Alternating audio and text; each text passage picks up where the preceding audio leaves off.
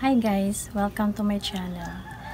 So today guys, I just want to share you the word of God that wherever you go, whatever you are doing, don't be afraid because God is with you. In the book of Deuteronomy chapter 31 verse 8, the Lord himself goes before you and will be with you.